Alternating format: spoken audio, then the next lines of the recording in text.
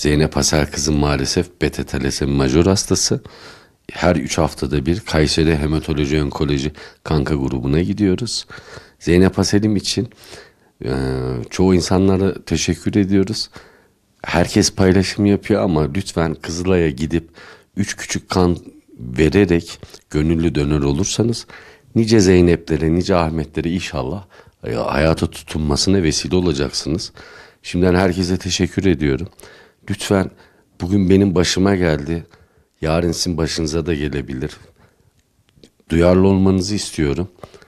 Giden gitmeyenlere de şimdiden herkese teşekkür ediyorum. Hastalığımızın ismi beta talasemi majör hastası. Kan hastası maalesef benim kızım. Kan almazsa yaşayamıyor. 3 haftada bir kanı düşüyor. Düşmesinin sebebi de ilik transferi olması lazım. İlikte insanların gidip Kızılay'a gönüllü ben dönör vericisiyim derse ufak 3 tüp kan alıyorlar. Kızılay'ın kendi banka sistemine verileri giriyor. Zeynep gibi nice hastalara inşallah umut olur diyelim. Bu süreç içerisinde kanı verdi, kan alıyoruz ama bir nevi pansuman gibi düşünelim. Yani Allah muhafaza ileriki yaşlarda bu, bu şekilde giderse dalağında bir etkilenme olabilir.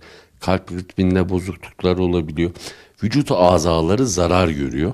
Acil benim Zeynep'im ilik nakli transferi olması gerekiyor. Lütfen Kızılay'a gidin. Gönüllü kök hücre vericisi olun.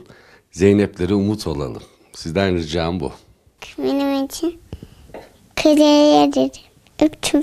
Kan verir misiniz? Benim güzel kızım Allah inşallah hayırlı açacak bize. Yap hadi. Bak.